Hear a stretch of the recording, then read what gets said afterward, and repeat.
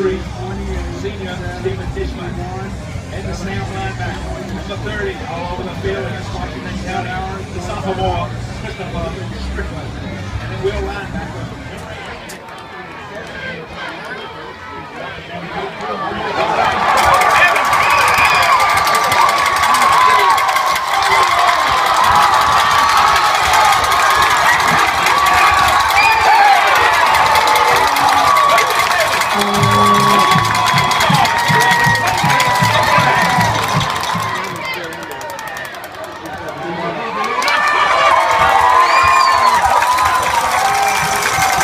Number seven, Parker.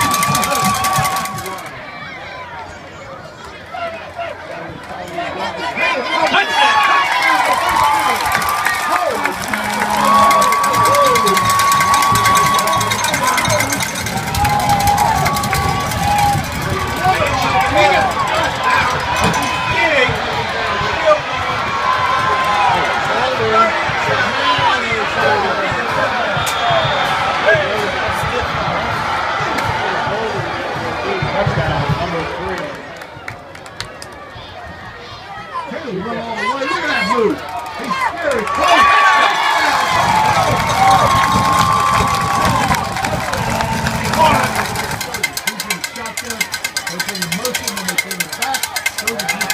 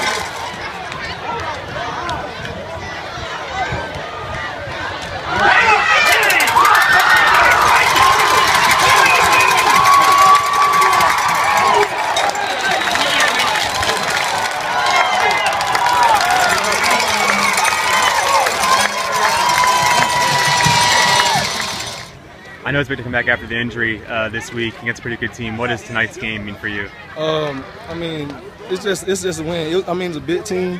That I mean, they down us, down us throughout the state, and it's a big win for the team. We've been practicing and practicing, practicing hard for the games like this. How do you guys keep your composure? It seems like you guys are scoring back and forth in the second second half. How'd you kind of stay stay in the game? Um, I mean, the pressure. We didn't let the pressure get to us, and then it was coaching. Uh, all 11 people was doing their job. Now it's always great when Burke and Thomson play. What does tonight's game mean for you guys? I know it's not a region game, but still emotional one out there. Yeah, you know, this means a lot to the community. This is probably the oldest rivalry that we have. And, uh, boy, you know, every time you get together, you're playing for not only the community, but players past, coaches past. And, uh, you know, they came here with a good football team, number five in the state for a reason. Uh, we got them at home and uh, just played well enough to win, you know. A lot of grit on our kids' part, and I, I was proud of that, proud of that effort. What does it mean to you to have Caleb back? It seems like that can do so much more on offense and on defense when Well, he's back. no doubt, when we got both senior quarterbacks in, we're a little different team. You know, I think both of them together make us make us pretty good. And uh, you know, it was great to have him back, and hopefully we can keep him back.